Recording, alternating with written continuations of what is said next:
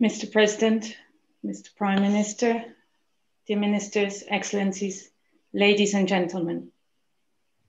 I'm very pleased and honored to welcome you to the regional launch of the 2020 Human Development Report, The Next Frontier, Human Development and the Anthropocene. My name is Mirjana Spoljaric.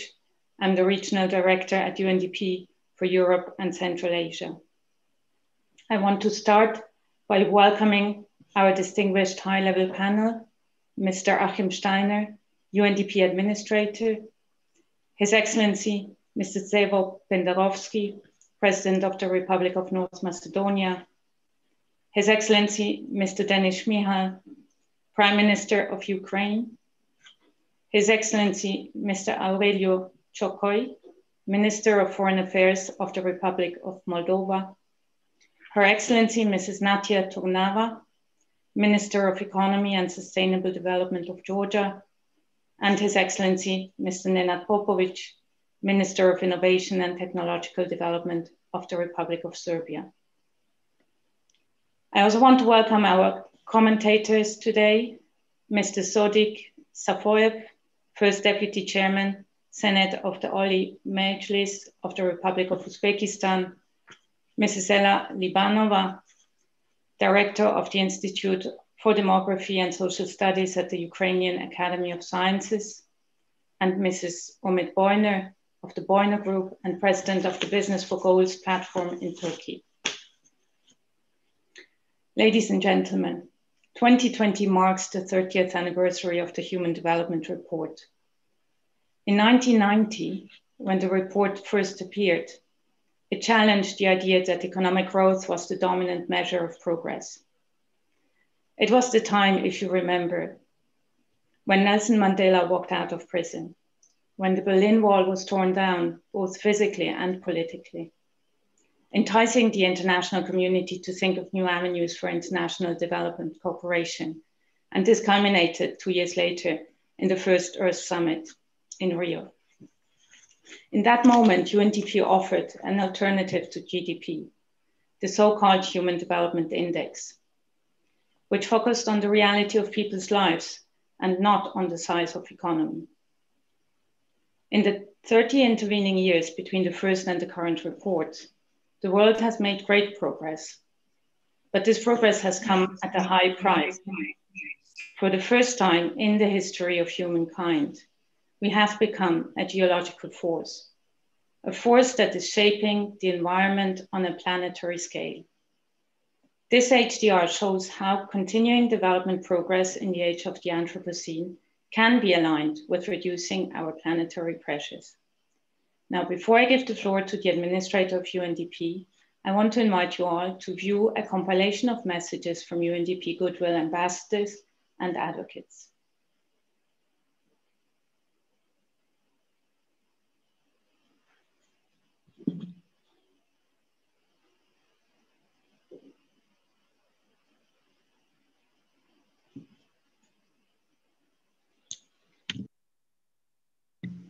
I don't think the film is playing.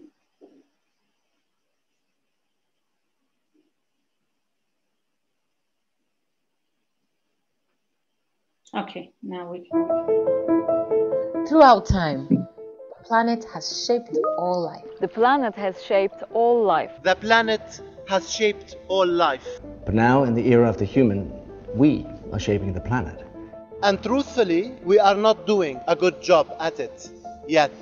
Our actions are putting a lot of pressure on the world. Just look at 2020 with COVID 19, extreme weather, and rampant wildfires. People have created this mess, but we can fix it. Empowered people can become agents of their own destiny. The world may seem stuck in its own ways. But we can take actions to create a new normal, whether that's expanding the role of women in society or using cleaner energy. In too many countries, fossil fuels remain the primary source of energy, but clean alternatives like solar power will help reduce our carbon emissions. These alternatives need to be made accessible and affordable without using too much of other finite resources. And we must learn to harness the power of nature at the same time as we protect its beauty and wonder. Moving to protect, sustainably manage and restore ecosystems in a way that promotes well-being. Too often, the decisions of a few people or countries hurts the most vulnerable people across the world. For all of us to flourish now and into the future, we must understand that we are all connected.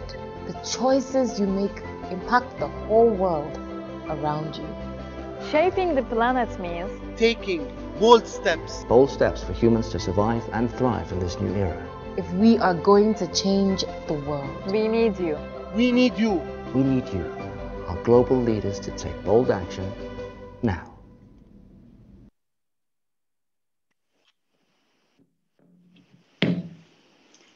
Um, Achim Steiner, you have the floor. Thank you so much. Excellencies, distinguished guests, colleagues, friends, and dear Mirjana, thank you for bringing us together today on the occasion of this launch. And I also want to thank our goodwill ambassadors who so often support us um, by helping the world understand what it is that we do and what it is also that is happening out there in the world this year. 2020 has defied all expectations. A tiny virus has humbled the human family, threatening to reverse decades of development. But COVID 19 is only a chapter in a bigger but lesser known saga marked by humans becoming the dominant force shaping the earth. Scientists have come to call this emerging era the Anthropocene, or the age of humans. And in it, as this 2020 Human Development Report sets out, humanity is waging a war against itself. Consider this the total mass of the things humans have made, like buildings, roads, and bottle tops, now exceeds the total mass of all living things on the planet, from tiny bacteria to giant whales to forests, according to new research. Today, humans literally have the power to alter the atmosphere and the biosphere in which we live, the power to destroy and the power to repair. No species has ever had that kind of power before. With it, we humans have achieved incredible things, but we have also taken the earth and all the people on it to the brink. 4,000 generations could live and die before the carbon dioxide released from the Industrial Revolution to today is scrubbed from our atmosphere. And yet, we all and decision makers continue to subsidize fossil fuels, prolong our carbon habit like a drug running through the economy's veins. People who have more capture the benefits of nature and export the costs, choking opportunities for people who have less and minimizing their ability to do anything about it. COVID 19 is therefore both a troubling glimpse into what our new normal could be and a gateway to change. This is a unique moment. It calls for a unique conversation. That is what I know we will have today in such distinguished company. We began this conversation on Tuesday at the global launch of this 30th anniversary report, which I had the pleasure of co-hosting with the Prime Minister of Sweden, where we were privileged to be joined by the Crown Princess of Sweden, the President of South Africa, the Prime Minister of Barbados, and thousands of guests across the world. It is my great honor to continue this important conversation today with so many eminent leaders from government, academia, and civil society and business across the middle income countries of Europe, Central Asia, and Turkey. As you know, for 30 years, UNDP has released the Human Development Report and Index ranking all countries by health, education, and living standards, a proxy for the freedom and opportunities people living in those countries experience. This year, constrained by mostly pre-pandemic data, we decided to do something new, something bold and long overdue. We added countries' consumption and carbon footprints to the Human Development Index. The result is less rosy, but clearer, but provides a clearer analysis of human progress. Plotting out the data on a graph reveals a profound insight. There are countries that leave a minimal imprint on the planet, There are countries with prosperous populations, but not one nation in the world sits in both camps today. In the graphs used to illustrate this data in the Human Development Report, we have quite literally an empty box. Filling this empty box in terms of the future of development is the next frontier for human development.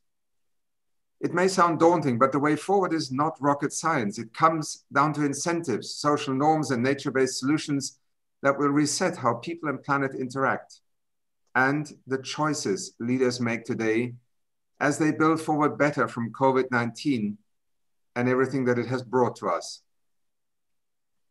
Consider the impact of the pandemic on poverty. There could be 1 billion poor people in the world by the year 2030, a quarter due just to COVID 19. Or we could choose to do things differently, driving progress towards the Sustainable Development Goals, with ambitious policy options, social protection measures, and also a response and a deal on debt. For example, a six month temporary basic income for nearly 3 billion people during this pandemic would be equivalent to only one third of what poor countries paid in the year 2020 to service their external debt. President Pendarovski, I know we are exploring the introduction of a temporary basic income in North Macedonia together with your government and the finance think tank in Skopje. We have experienced a revolution in digital dependence in the past 10 months, but for many, going virtual as we are today is just not an option yet. Four out of five children were effectively out of school in poorer countries in the first half of this year because of the digital divide. We could let it deepen, or we could choose to invest in a once, once in a generation effort to close it. Minister Ciocoi, I'm delighted that UNDP is working with your government, private companies, and the Association of ICT Companies to upgrade distance learning systems for primary and secondary school students in Moldova. And Minister Popovic, thank you. I'm pleased that we are working with your Ministry of Environmental Protection on a public call for innovative digital projects that apply and expand circular economy principles in Serbia. And consider the impact that choices made today will have on the climate emergency. By the year 2100, the richest countries in the world could experience up to 18 fewer days per year of extreme weather as a result of climate change while the poorest countries could experience up to 100 days more. That number could still be cut in half if the Paris Agreement is fully implemented. Prime Minister Shmyhal, I'm delighted that we are working together and with the European Union to support Ukraine implement its nationally determined contribution to reduce greenhouse gas emissions under the Paris Agreement, and thereby also facilitate that notion of a greener recovery of building forward better. And Minister Turnava, I'm pleased that we are working with your government and development partners to implement a 74 million program to reduce climate risk in Georgia. At UNDP, we take this report very seriously, and we have been reflecting on it and are preparing a new three-part offer to build on the conversation this report has opened. It will include expertise and tools that could assist countries to simulate alternative futures based on different policy choices building on the data in the report and beyond. Integrated programmatic and financial support that goes beyond the quick technical fixes to accelerate the transition towards greener and more equitable development paths. It's what our citizens in every country are expecting of us. And tailored national and local policy dialogues to support the evolution of new social norms and build coalitions for change, not least with our youth, that so called next generation that in fact is stepping up to provide leadership already now. Our support is designed to assist decision makers look beyond recovery towards the year 2030, making choices and managing complexity and uncertainty in four main areas that now define our way forward governance, social protection, green economy, and digital disruption. It builds on our role in technically leading the UN's socioeconomic response to the pandemic. Excellencies, friends, and all those of you who are listening in today. This is the 30th anniversary of the concept of human development. Much has changed since that first human development report challenged the narrow primacy of gross domestic product as a singular measure of human progress. But hope and possibility have not. We are not the last generation of the Anthropocene. We are the ones who get to decide what this, the first generation of the Anthropocene, will be remembered for. Our future is not about choosing between people or trees. It's about choosing to do things differently. That, in my mind, is the next frontier for human development. I truly hope that together with such distinguished panelists today, leaders in their countries, but many of you who are following this discussion at this unique moment, we commit to exploring these new frontiers together. On behalf of the Human Development Report Office and team, and all of us in UNDP, thank you so much for joining us today. Back to you, Mirjana. Thank you. Thank you, Achim, for your opening statement. And I would now like to invite His Excellency, Mr. Stevo Pendarovski, the President of the Republic of North Macedonia, to deliver his remarks. President, you have to. Yeah, can, you, can you hear me? Good afternoon. Yes, we can hear you very well. well. I'm glad to be among you. Distinguished participants, esteemed excellencies, ladies and gentlemen, I'm honored to address this regional promotion of the UNDP Human Development Report. A last year report showed that a new generation of inequalities related to education, technology, and climate change was on the horizon, which could be the source of new major divisions in society. And when we looked at the findings with concern, we didn't even think that this year we would face the COVID 19 pandemic. Every crisis can have long term effects on human development that are sometimes felt by several generations. But systemic crises such as this pandemic penetrate much deeper and can erode the achievements that have been worked on for years and even decades. This crisis has negatively affected the health, economic, educational, and in general, the social aspects of human development. The UNDP's simulations of the first half of 2020 indicate that the combined impact of these shocks could cause a major slowdown in human development. According to the International Monetary Fund, this is the biggest economic crisis in the last 90 years. It's estimated that around 100 million people worldwide will be pushed into extreme poverty. The health systems of even the most developed countries are under enormous pressure. We know that the average in the European Union is five hospital beds per 1,000 inhabitants the Republic of North Macedonia has 4.2 hospital beds per 1,000 inhabitants and about three doctors for the same number of inhabitants. But in conditions of a pandemic, clearly this is not enough.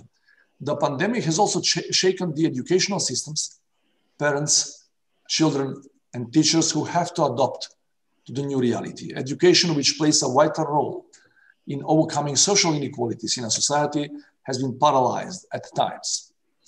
The pandemic exposes the weaknesses of the economic, health, and educational systems. It gives us insight into the health of our societies and shows that at the heart of this crisis lies the injustice and systemic inequality that's being passed down from one generation to the other.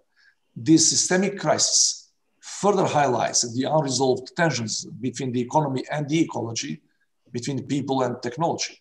All this is due to the dominant in my view, unsustainable paradigm of uncontrolled economic progress at the expense of nature. More or less, almost all countries are facing a decline in human development, but countries and societies with greater social inequality and more environmental threats are hardest hit. The World Bank in this year's Human Capital Index warns of a worrying trend. The greater the country's economic losses, the less investment in social and human capital thus creating a downward spiral. It inevitably reflects on climate action. It's expected that in many countries, the economic damage from the pandemic will be repaired at the expense of the environmental and climate agenda. This will only keep alive the unsustainable economic model of growth and development based on fossil, on fossil fuels. Dear participants, I would like to emphasize that I do not expect this to be the case with the Republic of North Macedonia. As a candidate country for membership in the EU, we fully support the European Green Agreement and are ready to contribute to the transformation of Europe into the first continent with decarbonized economies by 2050. In this regard, I will support the government's plans for submission of revised and more ambitious national contributions to climate change. Human development in North Macedonia is continuously growing, with the growth of 14.3% from the year 2000 to 2019. We are above the world average for the analyzed period. Among the positive indicators, I would like to emphasize that the global index of multidimensional poverty shows that North Macedonia has the fastest, fastest reduction of poverty in relative figures. Still, we must aim higher to meet the needs of Macedonian citizens, especially our youth. The pandemic is an opportunity for decisive steps to restructure our economies, industries, technologies, and in general, for lifestyle in line with the sustainable development principles. A policy focused on short-term results will only achieve a short-term growth. If we treat crisis in isolation from each other, we'll only alleviate the symptoms without curing the humanity. The HDR show, should help us stay focused and not deviate from the main goals. The 2030 Agenda, the Sustainable Development Goals, the Paris Climate Agreement, the Sendai Framework for Disaster Risk Reduction We'll need a lot of energy to get back to where we were a year ago. We must work with solidarity and commitment to achieve a development that will guarantee the innate dignity of every human being, and of course, the integrity of the entire nature. I thank you for your attention. Thank you, President. Thank you for your encouraging statement. Uh, Achim, ladies and gentlemen, we have the Prime Minister's office connected, but he's physically held back in Parliament at the moment. We are being kept informed uh, about his joining. Meanwhile, I would like to pass to pass the floor on to His Excellency Mr. Aureliu Ciocoi, Minister of Foreign Affairs of the Republic of Moldova. Thank you very much, distinguished guests, excellencies, dear Mr. Achim Steiner. On behalf of the government of the Republic of Moldova, I would like to thank you for this invitation and opportunity to express my views and thoughts on the sustainable human development of Moldova. But before that, I would like to congratulate United Nations Development Programme globally for this very relevant focus and timely narrative of the Global Human Development Report. Our choices in doing development affect directly and indeed indirectly the environment around us, the nature and the people, including future generations the recent impact of the COVID-19 and natural disasters, such as drought on a small country like Moldova is affected health and education sectors, as well as has profound negative effects on the economy. The same challenges are faced by the entire region. It also reminds us about how vulnerable we became when it comes to natural disasters, changing climate conditions, and climate change in general. Our Human Development Index steadily increased, and we are now in the group of countries with high Human Development Index. Yet, the circumstances are such that require more accelerated efforts on almost all sustainable development goals, but also greater ambitions to sustain the achievements and increase resilience to the new surfacing risks. I am proud to note that Moldova has become the fourth country in the world that submitted its 2020 nationally determined contribution under the Paris Agreement, joining the Marshall Islands Norway, and Suriname. The country enhanced its national determined contribution to 70% attention unconditional and up to 88% conditional reductions in greenhouse gases emissions in 2030 compared to 1990. As we read the UNDP's 2020 Global Human Development Report, we are delighted to see that Moldova is mentioned as an example of a nation that is making socioeconomic progress and at the same time, its carbon and material footprint is relatively and comparatively limited, underlining that lighter pressure on the planet is possible. Yet there are many areas for improvement indeed. Consumption behavior is just one of important aspects. Modeling such behavior by reducing inefficiencies is very relevant. With UNDP Moldova support, we have recently concluded one of the largest in the region behavioral experiment to reduce electricity use at the level of households that proved how social norms trigger more responsible consumption. To mention that we are almost fully dependent as a nation on the import of electricity from our neighbors, and such energy is still produced from fossil fuels.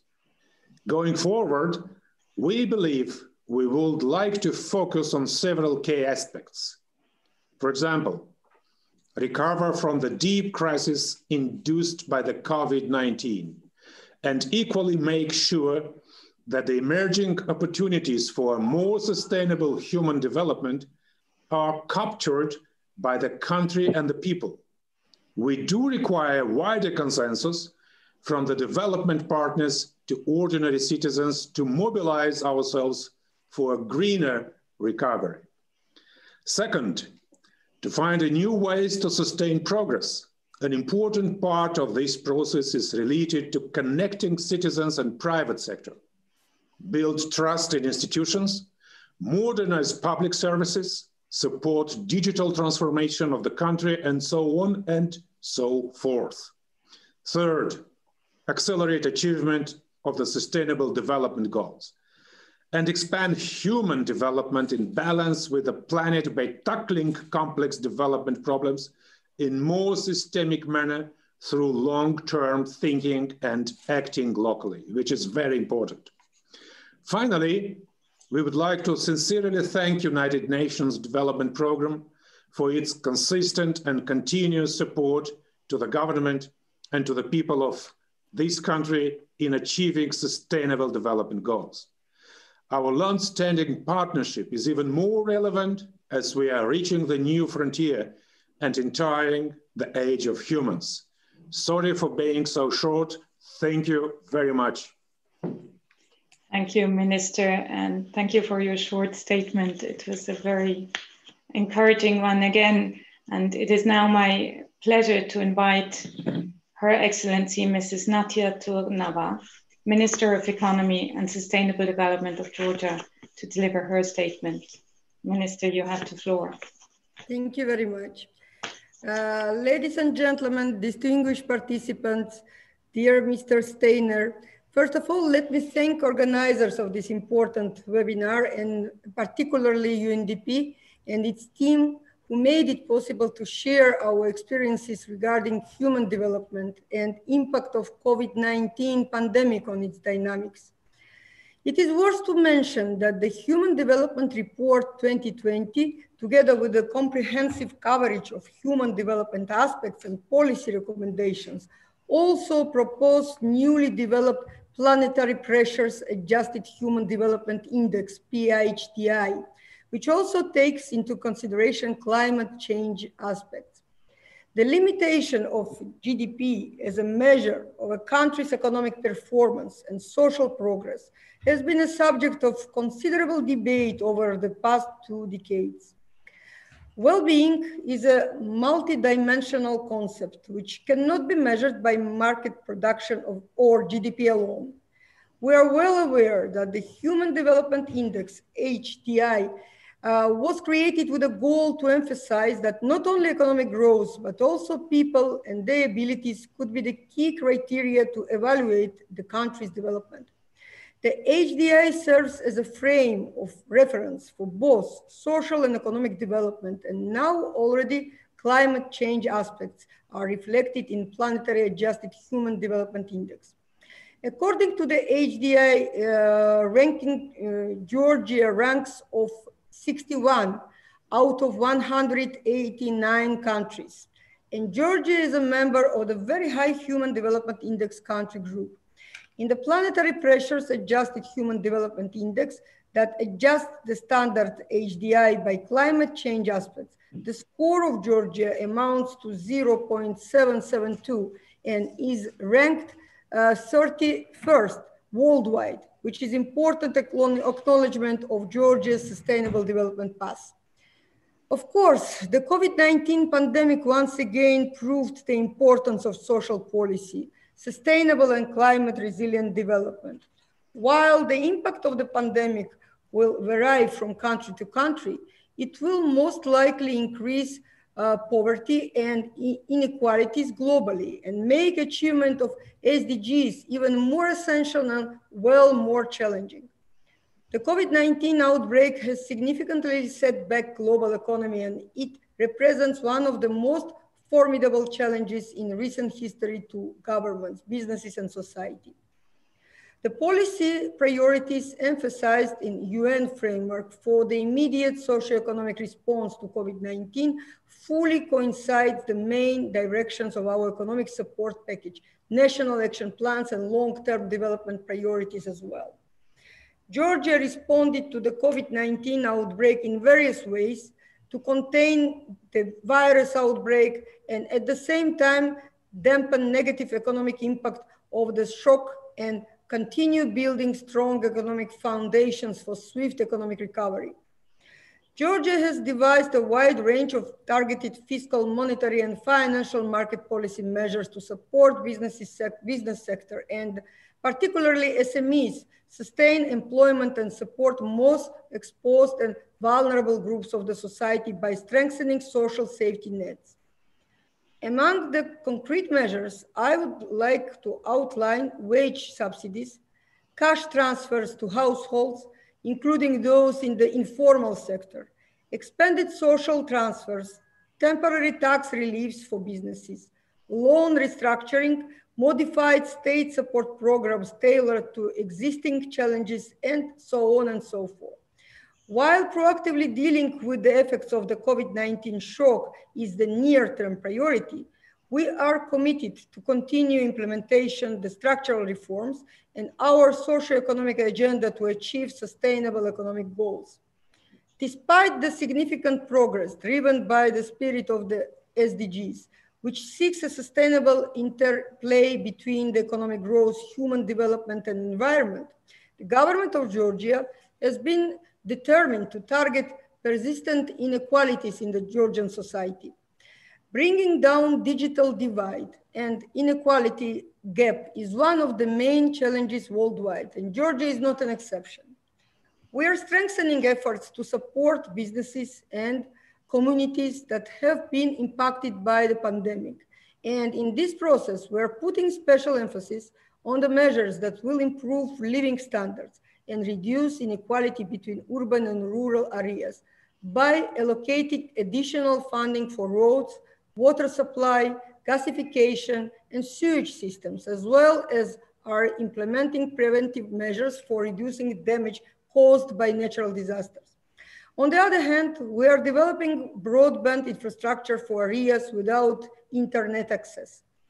During pandemic, when all world battling health emergency crisis, we should not forget climate change, which is one of the greatest threats facing humanity with far-reaching and devastating impacts on people, the environment, and the economy. Planning and investing in systematic adaptation measures and in the innovation that comes with it can unlock new opportunities and provide multiple dividends by avoiding econ economic losses and delivering additional social and environmental benefits. With the support of GIZ, Ministry of uh, Economy and Sustainable Development of Georgia is working on Climate Resilient Economic Development Program, CRED, to evaluate climate change impact on different sectors of economy by implementing tools for economic modeling. As a result, better assessment and planning of adaptation measures will enable us to unlock climate resilient economic development by investing in necessary infrastructure. Furthermore, Green growth is an important part of the process that will help deliver sustainable development through focusing on the role of natural capital as a driver of economic growth. Under EU for Environmental Program, Ministry of Economy and Sustainable Development of Georgia has launched uh, elaboration of green growth concept, which aims to uh, preserve natural capital and increase people's environmental well-being by supporting environment-related actions, demonstrating and unlocking opportunities for greener growth and setting mechanisms for better managing environmental risks and impacts. After adoption of green growth concept, elaboration of green growth strategy is planned with our partner organizations. Together with the above mentioned measures, the Waste Management Code of Georgia was adopted, which introduced an extended producer responsibility EPR concept for specific waste streams. Besides, the energy reform will contribute to foster a green recovery from the COVID-19 pandemic by promoting energy savings and efficiency, as well as supporting business environment by promoting more competitive pricing. I would like once again thank UNDP for its great and useful efforts for achieving sustainable development goals and prioritizing human development aspects in policy making process. Thank you very much for your attention. Thank you. Thank you, Minister, uh, for your excellent statement. And I'm moving on to give the floor to His Excellency Mr. Nenad Popovic, Minister of Innovation and Technological Development of the Republic of Serbia. The floor is yours, Minister. Ladies and gentlemen, honorable guests and participants of the conference, good afternoon. We are living in a remarkable period of history, one that will affect each of us in decades to come. The list of challenges the world is facing is long. No matter how we describe the COVID-19 pandemic for billions around the world, the virus has changed life as we know it. Governments and public sector organizations are trying to respond quickly in order to equip their citizens and business with resources to minimize the consequences. Furthermore, the man-made climate change is one of the biggest threats facing our world today. Governments all over the world are making commitments to reduce greenhouse gas emissions, to limit its damaging effects, and to develop sustainable economic and living environment. Serbia is working on and looking forward to adopt green agenda in full capacity. To meet these commitments, we need a more aggressive policy action and rapid shift away from fossil fuel, changing the focus to the renewable energy sources. In order to respond to the pandemic challenges effectively, the government of the Republic of Serbia is taking numerous measures through which we apply modern technological solutions from various fields of information technology, such as blockchain, artificial intelligence, smart cities. In March 2020, after the outbreak of the pandemic, Cabinet of the Minister for Innovation of the Republic of Serbia organized a mayor campaign named Be a Hero. The idea of the project was to mobilize members of innovative community and use their enormous potential in fight with the pandemic. The results were great. We received more than 150 different solutions. Some of them we immediately developed and applied successfully in a short period of time. We are planning to continue to use all innovations and solutions of the community in the fight with COVID-19 and fully exploit all existing potentials in sustainable manner. Sustainability is a powerful force for positive change in our world. It drives transformation, innovation, and improvement across all aspects of society. No longer limited to conserving natural resources, sustainability now includes a broad range of challenges, including urban growth, transportation, our carbon footprints, and even people's work-life balance. In this regard, we need to use all available infrastructure to tackle these challenges. Urbanization models that incorporate digital technologies and smart cities are addressing some key urbanization and sustainability challenges. Smart cities are built on complex and intelligent frameworks of digital networks, connecting citizens, governments, and objects that simultaneously send and receive data. Cloud-based software applications receive, manage, and analyze this data and transform it into real-time intelligence that will help improve the way we work, travel, and live.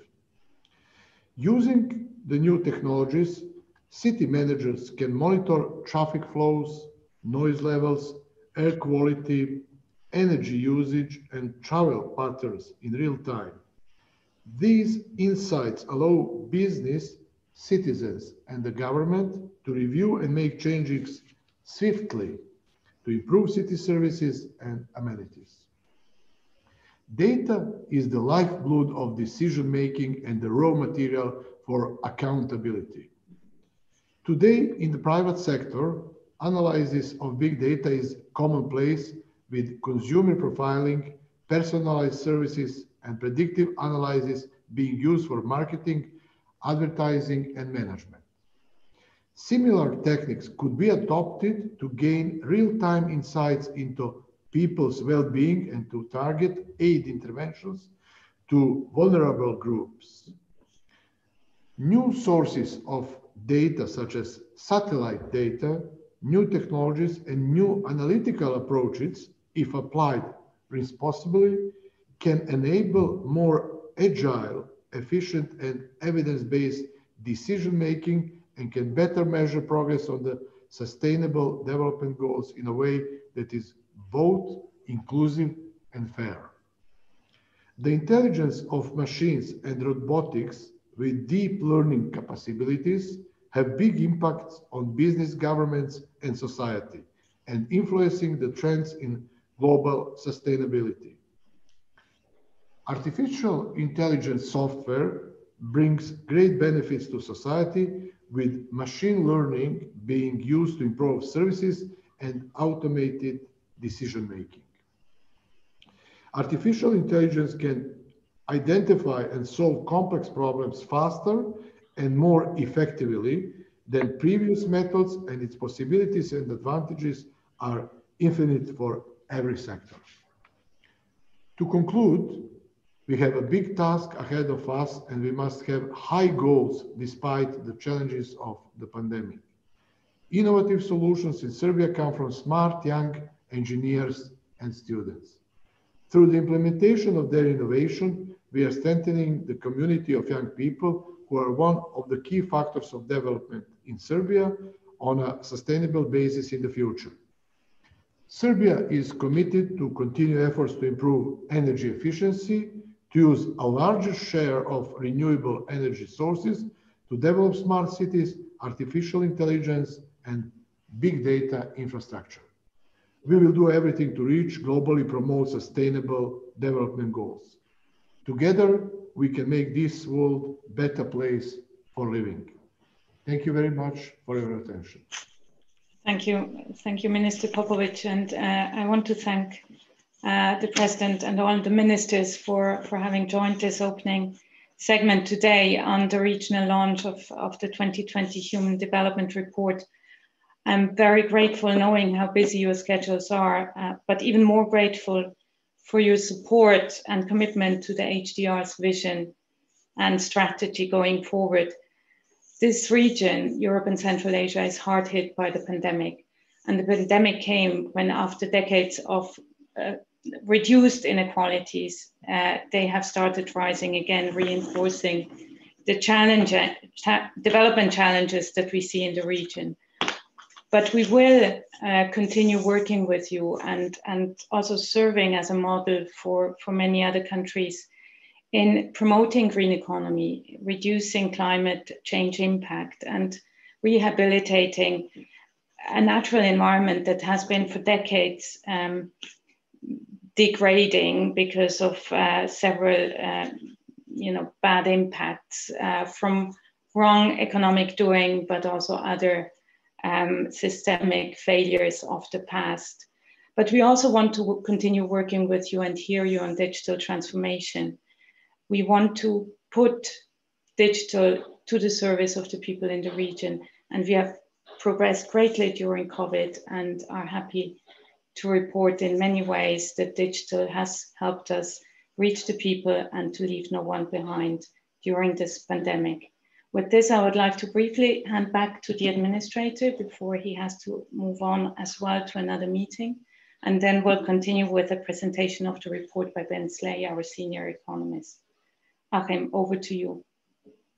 Thank you, Mirjana. And um, I, I have listened very carefully just now because in each of your contributions and um, examples that you brought, lies to me the very reason why UNDP is still present, is still a partner in Europe and Central Asia to your countries, to your nations, and to the development innovations that, that you are leading. I, I truly appreciate the examples that were given. And um, to me, what the United Nations Development Program represents today is not the, the one-way street of, um, you know, the 60s, 70s, 80s, and 90s.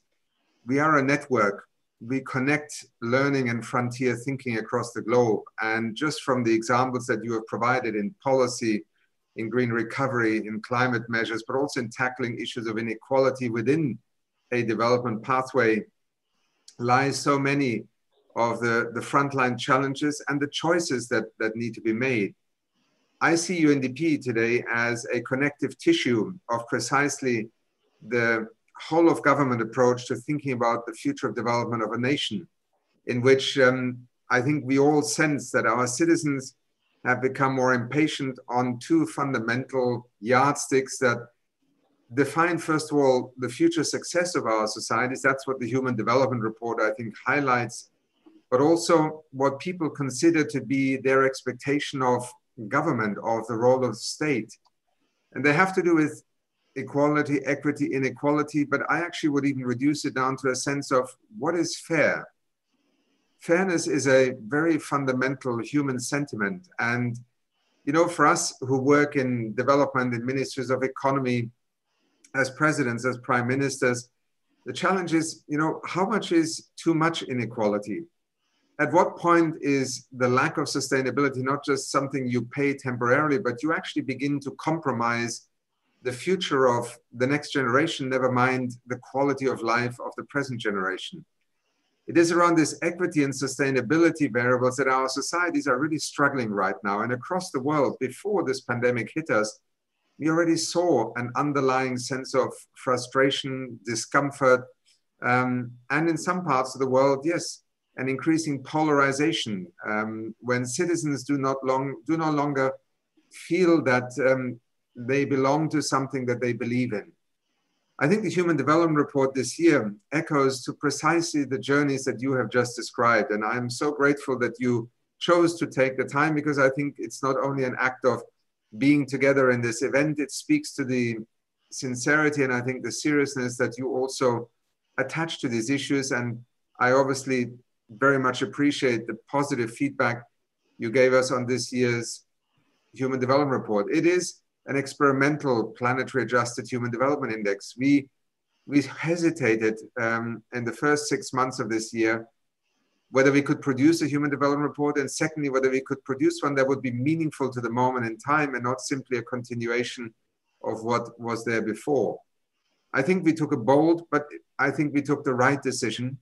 And in the initial response and reactions, I think many people across the world recognize this moment in time. And I want to end by saying that, as UNDP and Mirjana just said it, we are deeply committed to working with you, learning from you, connecting the world of development that really transcends this traditional developing developed countries narrative today.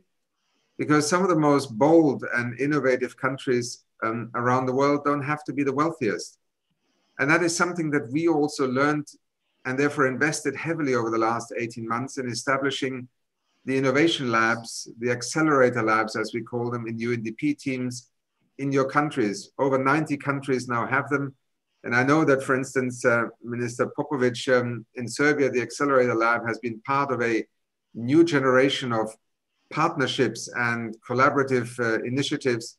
And I hope that it is that UNDP firmly embedded in the Sustainable Development Goals, the 2030 Agenda, but also committed to a future of development agenda rather than simply looking backwards and analyzing what we have not accomplished. Therein lies, I think, the inspiration, the empowerment that we can bring to citizens, that you as governments, as leaders in the state institutions are asked to deliver, and that we in the United Nations and I with my team in UNDP are proud to be partners to you. Thank you again. And uh, Mirjana, once again, thank you for managing to arrange today's launch in your region also. I'm delighted to, to have been part of it. Thank you, Achim. It was my pleasure to invite uh, such distinguished speakers today uh, to the regional launch of the HDR. Now, uh, Excellencies, President, Ministers, if you allow, uh, I will now move to the second part, uh, a more substantive uh, presentation of the Human Development Report, followed by inputs of our mentioned commentators. I invite Ben Slay, Chief Economist in the Bureau for Europe and the CIS, uh, to present the report. We will be very brief. Uh, um, the full version of this presentation will be made available to you uh, via link. Over to you, Ben. Thank you very much, Mirjana. Uh, Excellencies, distinguished guests, ladies and gentlemen, it's a pleasure to very briefly present this report from the perspective of the middle income countries of Europe, Central Asia, and, and Turkey, what's most relevant uh, and most useful to consider going forward. Next slide, please. Uh, as we know, this is the 30th anniversary report, uh, Human Development Report, focusing on renewing human development for the Anthropocene, focus on mechanisms to catalyze change, but also to better measure progress uh, in the Anthropocene. The key principles for this, as emphasized in the report, are environmental stewardship, equity, and innovation, with the key mechanisms to realize these principles being incentives, regulations, uh, nature-based systems, and social norms and values, or changing them. Next slide, please. Everyone is always interested in how their countries compare uh, and rank in the Human Development uh, Index. Here are the Human Development Index, or HDI scores, for the countries that we work with in Europe and Central Asia. As we can see, uh, a good number of them, uh, including um, Montenegro, uh, Georgia, and Serbia. Uh, countries we're very grateful for the representation and participation in this launch today, are in the very high human development category with the score above 0.8 out of 1, which is the highest possible score uh, for the HDI. But most of the other countries are in the high human development category, reflecting the very uh, impressive development uh, accomplishments uh, that they have managed to uh, put together uh, with a smaller number of countries in the medium human development category. So uh, this is in broad brushstrokes how countries compare if we look at the basic measurement of human development. Next slide, please. But we know that we need to adjust these uh, HDIs, these traditional approaches to measuring development, to reflect the impact of planetary pr uh, pressures and has been mentioned, uh, especially by UNDP Administrator Achim Steiner. We are doing this through the planetary pressures uh, adjusted HDI or PHDI. And what we see here is a graph of all the countries of the world where uh, if the if there were no planetary pressures or not significant ones, then the PHDI and the HDI would be essentially the same. And that is the case for many low income, uh, or excuse me, low human development uh, countries. But as we move up the human development scale, we tend to find more and more countries deviating from this 45 degree line.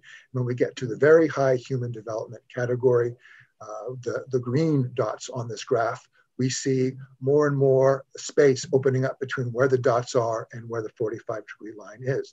So what we're talking about is adjusting the human development index for per capita greenhouse gas emissions and per capita material footprint data, with material footprint simply being the amount of resources used uh, on a per person basis. what we find is that as human development increases, uh, the planetary pressures increase and uh, reversing that dynamic is, as been mentioned, the key challenge, a new frontier for human development going forward.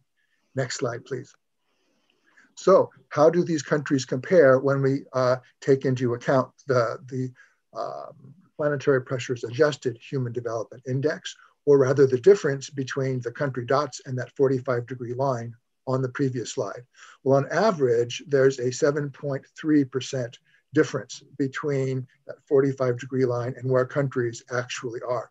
And we see that many countries in this region, such as North Macedonia, such as Georgia, such as Moldova, have a smaller deviation from the line of equality between the Human Development Index and the Planetary Pressures Adjusted Human Development Index.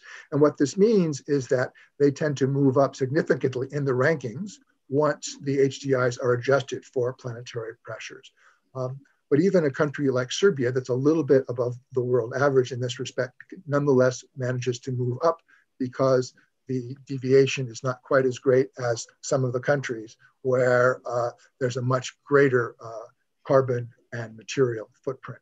So this can be seen as an opportunity for transformation, uh, for ensuring that development is sustainable, that uh, economic growth can uh, be uh, aligned with reductions in the planetary pressures that people can mean for the the ecosystems and nature-based systems on which we depend. Next slide, please. So finally, what sorts of concrete policy and programming recommendations are in the report that can be particularly useful for the countries we're discussing here today? Well, we mentioned that the key mechanisms for change are incentives, regulation, social and values. In particular, in terms of incentives, one of the ways that incentives are a little bit misleading right now is that billions of dollars are invested in this region on fossil fuel subsidies.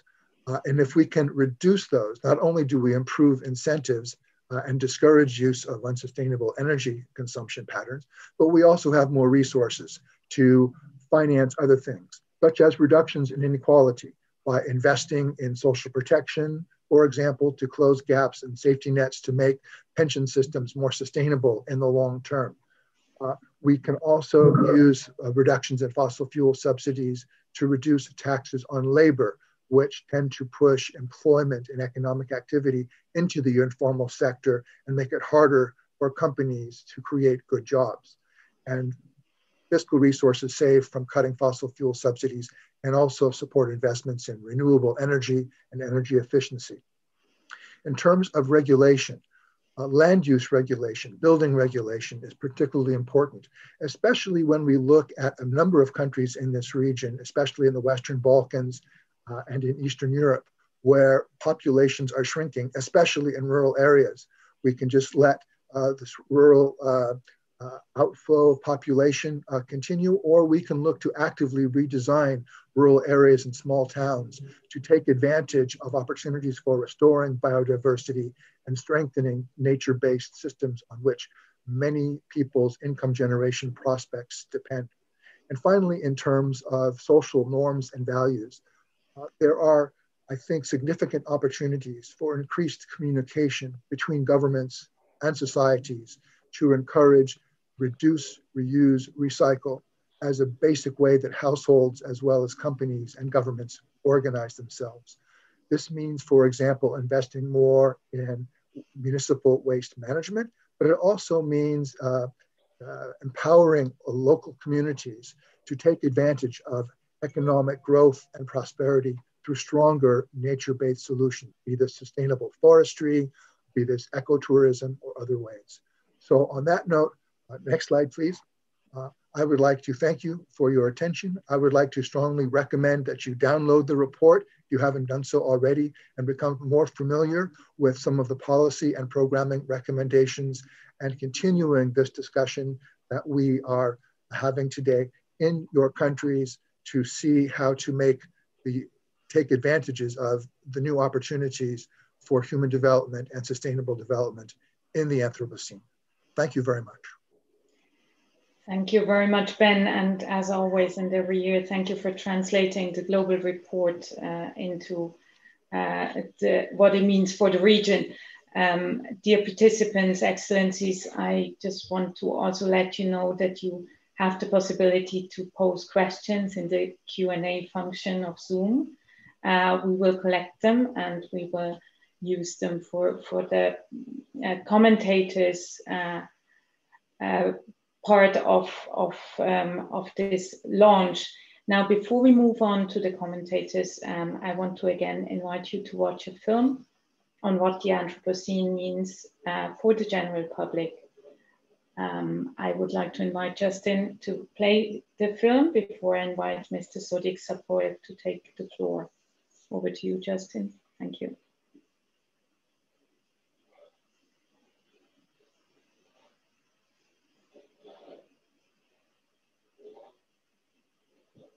Anthropocene. Giorgio, help me. Do I have to pronounce it correctly? Some of this is something medical. Something to do with old. Uh, I think that's to do with climate change. So something to do with people? Anthro means man, right? Or human man? I don't know the meaning of that word. Oh, the Anthropocene. Yes, I know what that word means. Can I get a hint? The current geological age viewed as the period during which human activity has been dominant influence on climate and environment. I think it means that the environment and it's been damaged. Oh, we're in the Anthropocene. Current geological age. I should have known that. Man, that's such a good word for right now,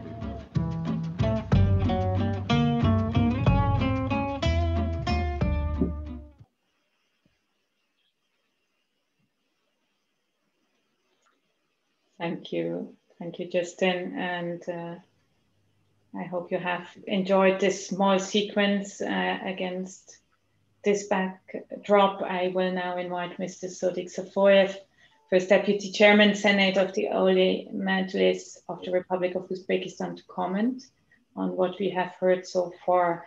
Senator Safoyev's stewardship of the Human Development Handbook for Parliamentarians and his support for the introduction of human development coursework at the University of World Economy in Tashkent while he was rector afford him a very broad perspective of what human development can mean in practice in the region. Uh, As Senator, you have the floor. Thank you very much, Ms. Mirjana Spoljaric Egger, for your kind introduction. I'm deeply honored.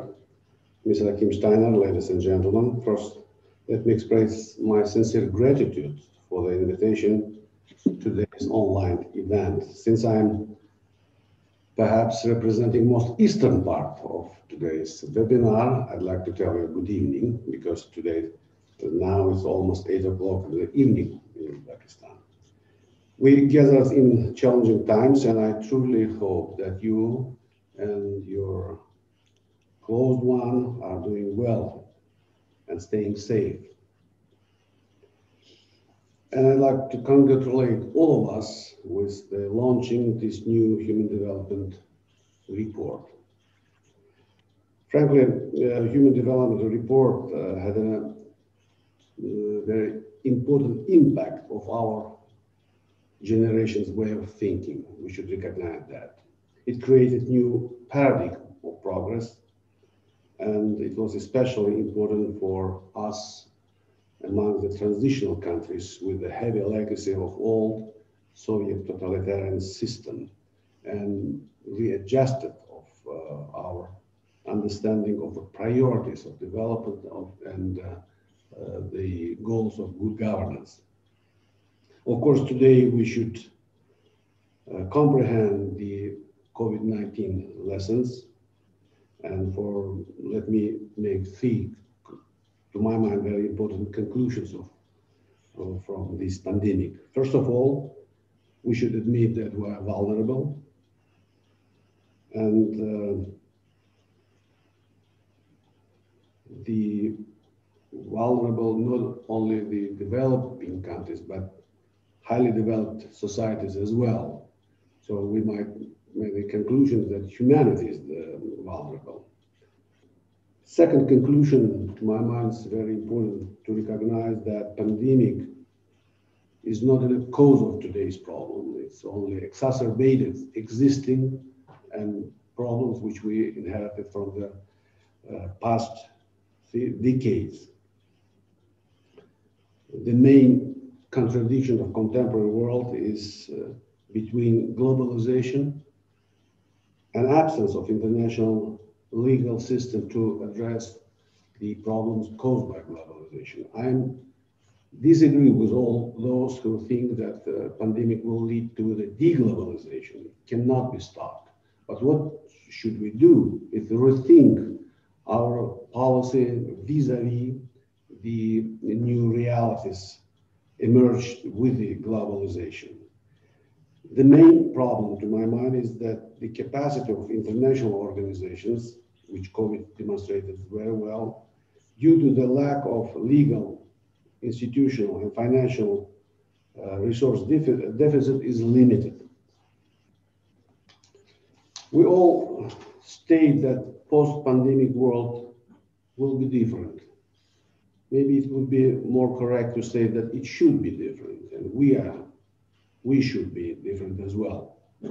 Especially important for Central Asian countries, including Uzbekistan. It's landlocked uh, region with heavy heritage and uh, with, which should address many challenging issues. Eco ecological problems is one of them.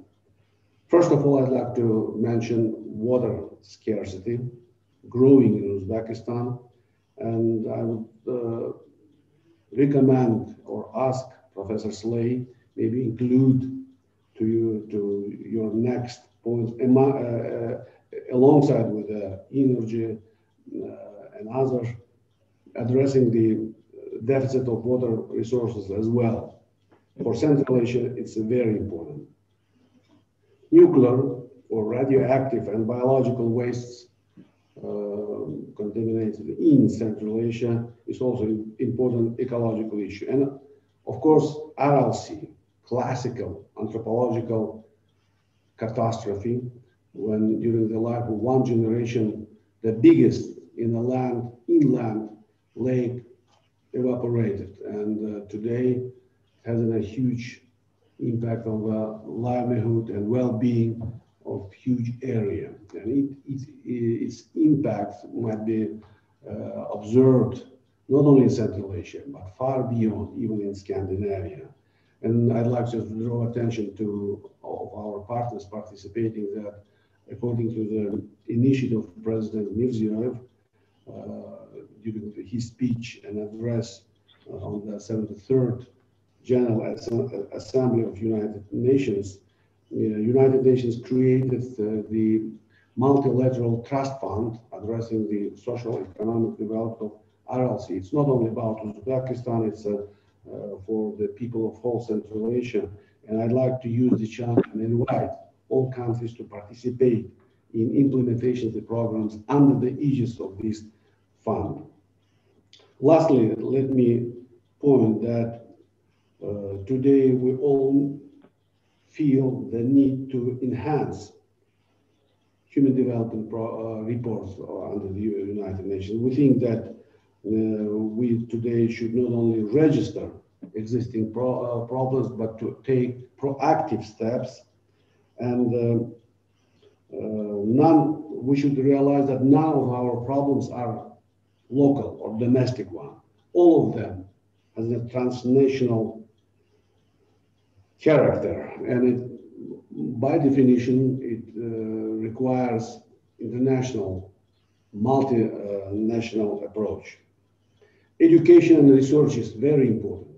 Of course, the achievements of Professor Amartya Sen and his inputs and insights done in the beginning of era of globalization in 1990 is very important. But today we're living in a different world. And I think that it's time to support research and scientific programs uh, addressing the issues regarding with the human development in contemporary world. And in conclusion, I'd like to tell that uh, Parliament uh, is a very important institution. Uh, today, the role of parliaments everywhere in each society, including Uzbekistan, is growing. We're trying to exercise and strengthen the parliamentary oversight over the SDGs. Uh, in Uzbekistan, we're working uh, in close cooperation with uh, UNDP office in Uzbekistan. And by the way, I'd like once again to commend uh, UNDP office in Uzbekistan and its leader, Matilda Dimovska, for supporting the new project, advancing deeper national SDG integration in Parliament of Uzbekistan. We think that it has a, uh, very important dimension of, of the combining of our efforts. Once again, I'd like to express my appreciation for inviting us in participating in this um, uh, event and congratulate all of us with launching new human development program. Thank you very much. Thank you, Senator. You have mentioned many important issues in your in your uh, comments, and we are definitely aware of the Aral Sea not only being a huge environmental and economic challenge to the region, but also a, a great opportunity to to show how a transformation towards green economy, green agriculture um, can actually um, rehabilitate the region and, and foster growth and well-being for everybody. Um, but for this, and I agree with you as well, we have to move science, diplomacy and cooperation closer together. And we will need not only a large economic footprint or, you know, uh, material footprint in, in in going in, in trying to transform the Aral Sea region towards towards a better future. Um, but we will also need technology and innovation going forward. And again, opportunities arise if we do it systematically and, and with a clear strategy in mind. Now, let me move on uh, to Mrs. Ella Libanova, Director of the Institute for Demography and Social Studies at the Ukrainian Academy of Sciences to share her views. Mrs. Libanova directed path-breaking research on the disaggregation of, HD, of the HDI for all of Ukraine's regions in a way that is useful for development policymakers, both at the national and at the local level. Mrs. Libanova will deliver her statement uh, in Ukrainian and interpretation is available through the interpretation globe button in Zoom. Uh, I hope you can see it. Mrs. Libanova, you have the floor. Thank you very much. Uh, do you listen me? Yes, we okay, hear. Thank you. Um, Враховуючи значення рівня освіти як характеристики людського розвитку і для продовження людського розвитку, прискорення його, я хочу звернути увагу саме на цей його аспект. І, зокрема, зазначити, що саме високий рівень освіти населення, як жінок, так і чоловіків, забезпечує Україні 74 місце на рейтингу Human Development Index. І е, всі показники, які ми маємо, вони, власне кажучи, говорять про те, що в Україні непогана ситуація з освітою. Але нас турбує декілька речей, зокрема, як фактичних, так і методологічних. Е, якщо говорити про фактаж, то нас турбує те, що Україна поки що відверто відстає, по-перше, щодо е, доступу е, шкіл, е, початкових шкіл, сільських початкових шкіл до е, інтернету. Лише половина шкіл має такий доступ. Причому ми розуміємо, що йдеться не так про взагалі доступ, як про доступ до якісного інтернету, швидкісного інтернету. І, е, власне кажучи, дистанційне навчання спровоковане пандемією COVID-19 і е, неможливість навчання е, упродовж скоріше за все, упродовж 21-го року офлайн навчання турбує нас більше за все, тому що ми розуміємо, що надолужити втрачене учням буде вкрай важко. З другого боку, Ми е, хоч звертаємо увагу на результати е, PISA, PICA, е, згідно з якими Україна має відставання, ну, відставання умовне, воно не катастрофічне, за ем, е, компетентністю учнів е, з математики. Нас це безумовно турбує. Е, І ми думаємо, е, що з цим, з цим робити, зокрема в програмах е, цілі розвитку тисячоліть, Sustainable Development. Крім того, ми продовжуємо працювати над методиками вимірювання регіонального людського розвитку. І тут ми якраз переносимо акценти з тих традиційно економічних показників, які в нас завжди домінували, на оцінку е, освіченості населення. Причому ми акцентуємо увагу на тому, що мова має йти не так про оволодіння компетентностями задля того, щоб людина була в подальшому е, конкурентна на ринку праці. Це дуже важливо, ми це розуміємо. Але не менше значення ми приділяємо тому, що освіта це є самоцінність людського розвитку.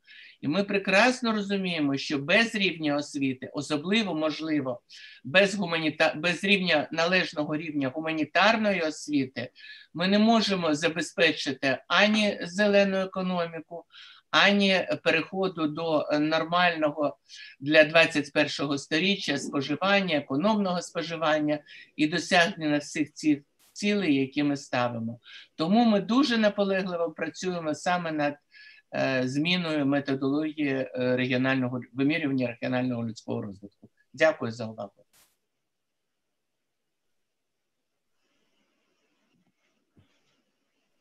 Thank you, Mrs. Livanova, and thank you for flagging the importance of innovation, uh, of education.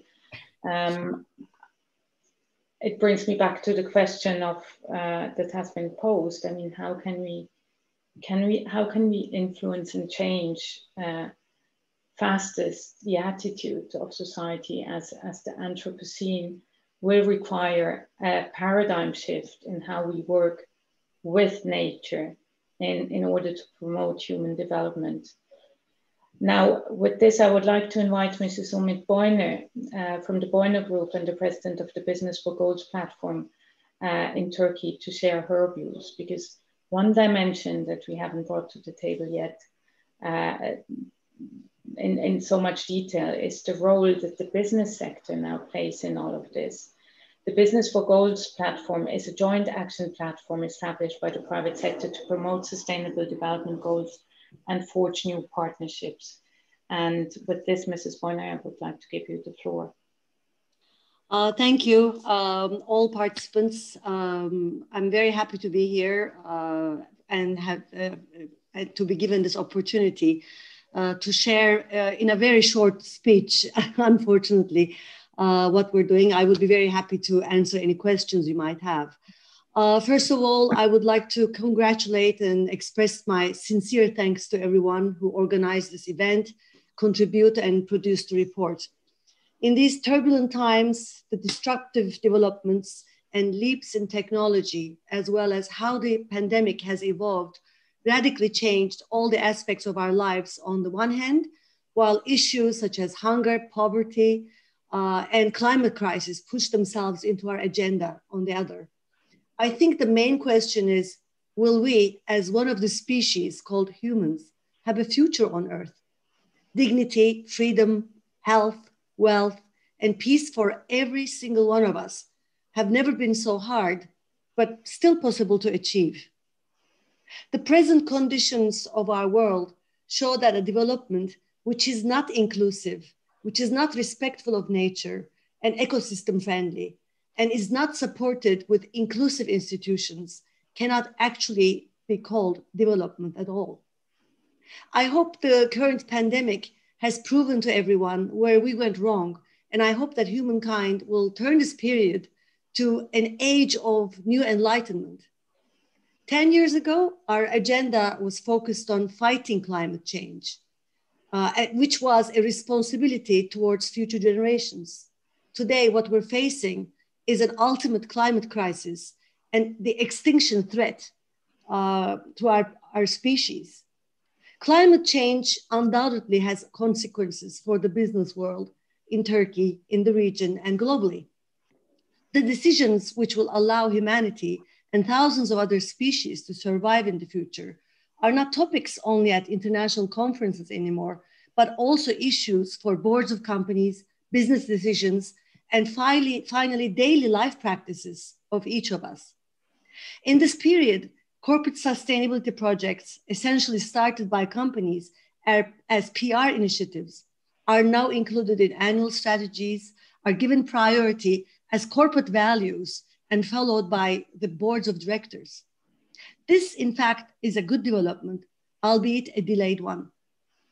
As Business for Goals platform in Turkey, of which I am one of the founders and which I currently chair, we seek to create a cooperative working environment for the private sector, public sector, academia, and non-governmental organizations. Cooperation between all sectors is key right now. We focus on sustainability and aim to increase the responsible and effective engagement of the private sector to integrate the sustainable development goals into their corporate policies and strategies. In essence, we are working with our uh, founders, co-founders, TÜSİAD, uh, Turkish Business and Industry Association, Turkonfed, Turkish Confederate of Independent Business Organizations. Uh, these two uh, institutions have over 40,000 large and small businesses as their members and 200, represent 250 different business federations. Uh, we cooperate with uh, UNDP, uh, making use of its uh, large network. Uh, I think we are, in essence, one of the original or, or unique uh, formations as a platform.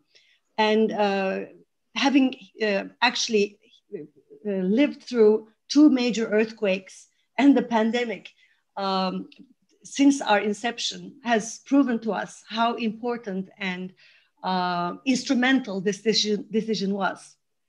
We basically focus on three main targets. We prepare the business sector for natural disasters and climate change. We work with uh, this, obviously with companies, but also with local governments. And uh, since the um, pandemic started, we have uh, conducted many surveys that basically measure the uh, preparedness of the private sector, uh, which obviously uh, impacts employment and inclus inclusion. Our second aim is to prepare the business sector for new business models, for digitalization. As uh, we all are aware, uh, especially with the pandemic, digitalization has actually gained a, a, huge momentum and the business models are not going to be uh, the same. The new normal will be very, very different. And our third aim is to prepare the business sector, uh, making sure that they ensure uh, inclusivity for all disadvantaged groups. Of sustainable development goals and human development, I believe gender equality needs to be given a special focus. Gender equality, in particular, cuts through almost all goals and unfortunately remains one of the toughest issues to solve the world over. We observe, observe a dramatic decrease in women's participation in the economical and social life, both in Turkey and globally, in a pre period when we needed it to increase for the welfare of societies and future generations. I believe that diversity and gender equality in corporate governance is not a choice, but a must for comprehensive eco economic development and sustainable growth. I would like to ask everyone is it possible to speak of the development and progress of a society that recognizes different rights and practices for half of its population in education, employment, entrepreneurship, politics, and economic decision making? My answer is like birds with one wing, we cannot fly while ignoring over half the population. We are going through an extraordinary period in which the effects of the climate crisis lead to grave environmental damage regional conflicts increase, mass migration is on the rise, natural disasters come one after another, and above all, we are still gravely challenged by the pandemic. For this reason, as the business world, we must find ways to ensure inclusive development, progress, and prosperity without leaving anyone behind.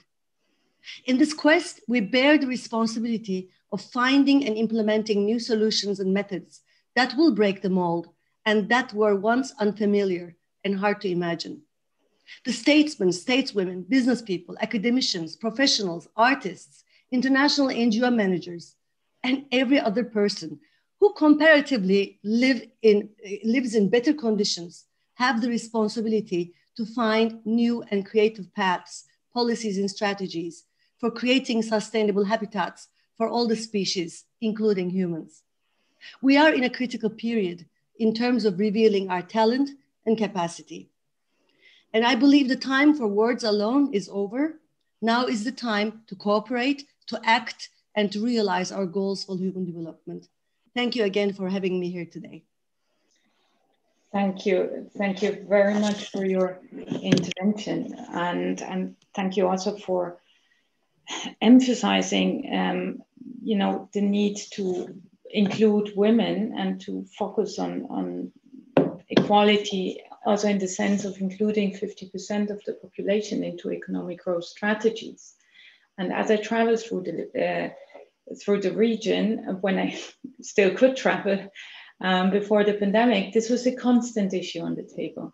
Not only uh, bringing people into the labor market, but enticing women to actually study and then go into the sectors in which they have graduated. And I would uh, especially like to hand back to Mrs. Uh, Ella Libanova once more, just asking you again uh, since you've also uh, emphasized the, the relevance of education. I mean, what advice do you give us as UNDP? I mean, where are the game changes? Where are the triggers of, of really getting the governments to adapt their policies in terms of really focusing in a strategic way on economic empowerment of women? Okay. А насправді в нас є більш або менш тісне спілкування щодо е, врахування якості освіти і е, кількісних параметрів рівня освіти у е, стратегії сталого людського розвитку. В цілях сталого людського розвитку Україна готувала звіт, вона продовжує цю роботу.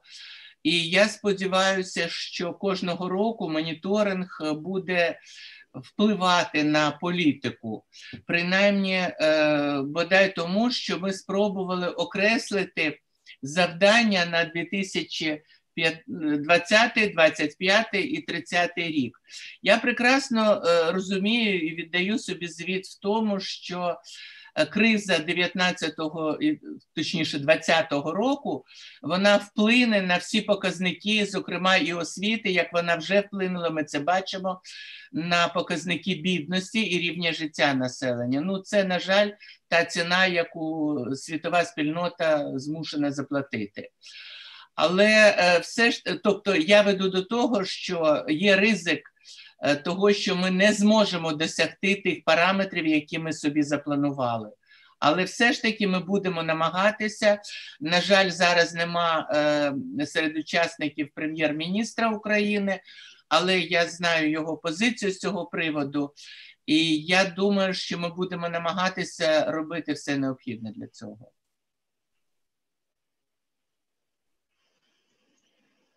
Thank you. Thank you, Madam Libanova.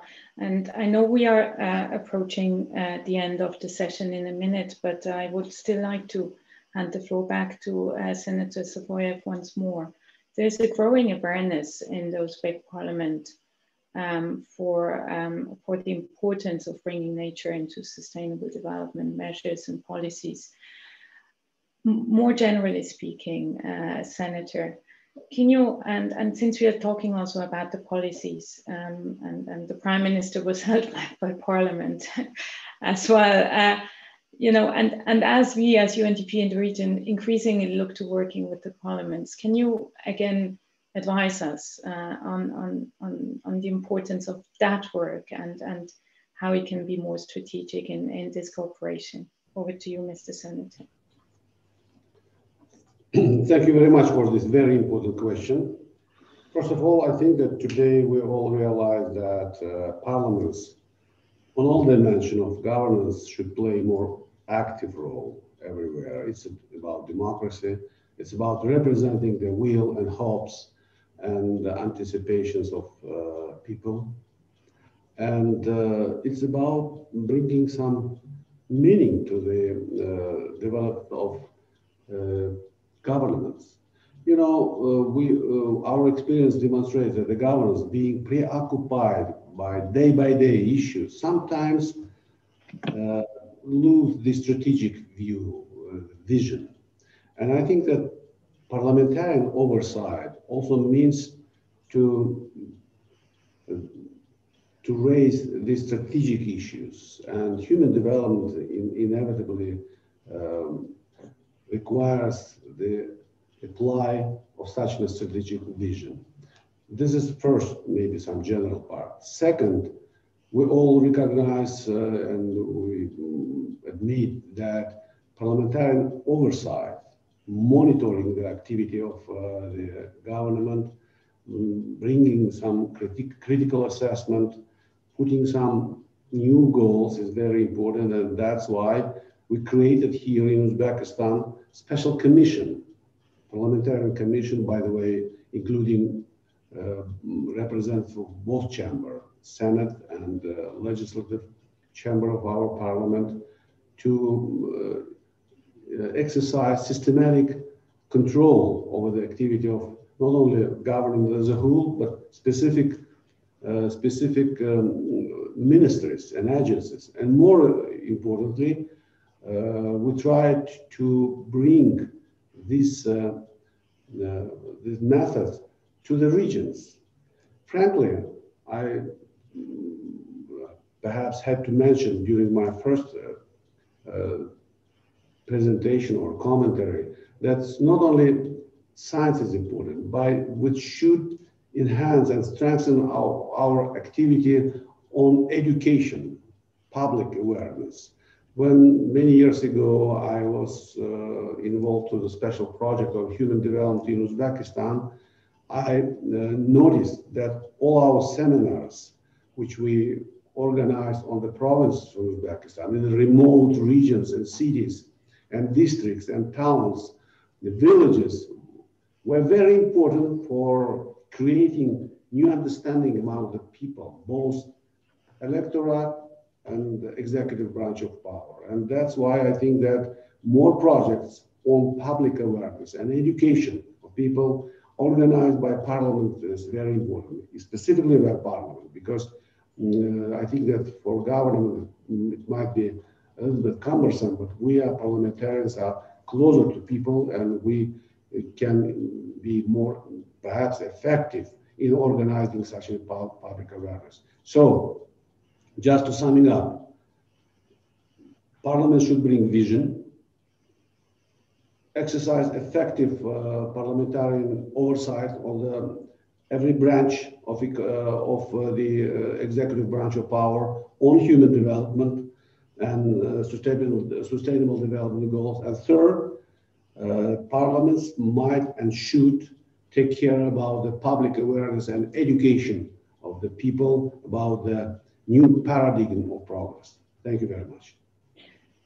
Thank you, Senator. And and this brings me back to, to the key question again. Uh, you know, where where can we, you know, do more to produce that paradigm shift in people's minds that we have to work with and not against nature, and that nature is part of our should be part of our normative framework and fundamental rights.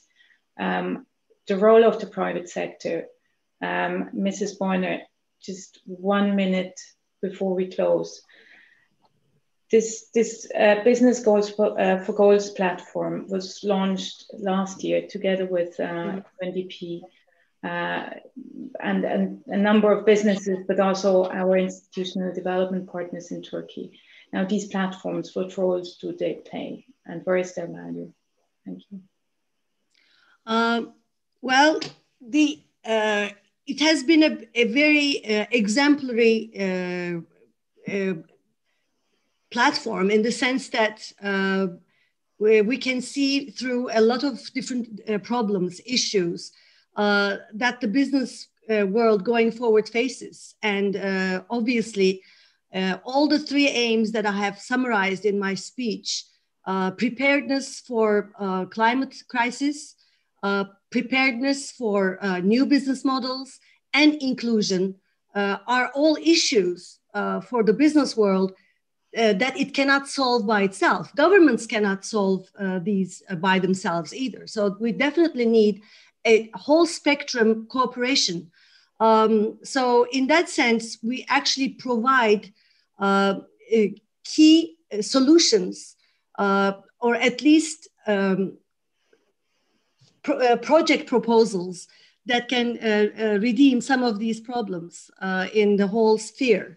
Um, and the participation of different agencies, um, uh, whether it be from the uh, business sector, whether from local governments, uh, or the development office of the president, um, we work on actually getting at solutions uh, not just uh, making uh, making Uh, remarks uh, on what the problems uh, there are.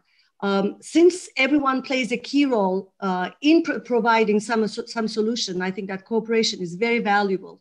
And the platform provides a, a opportunity for all these sectors to put forward their uh, priorities working towards a solution. Thank you, Mrs. Boyner. Unfortunately, we cannot continue the conversation here, but I hope we will do so at another occasion.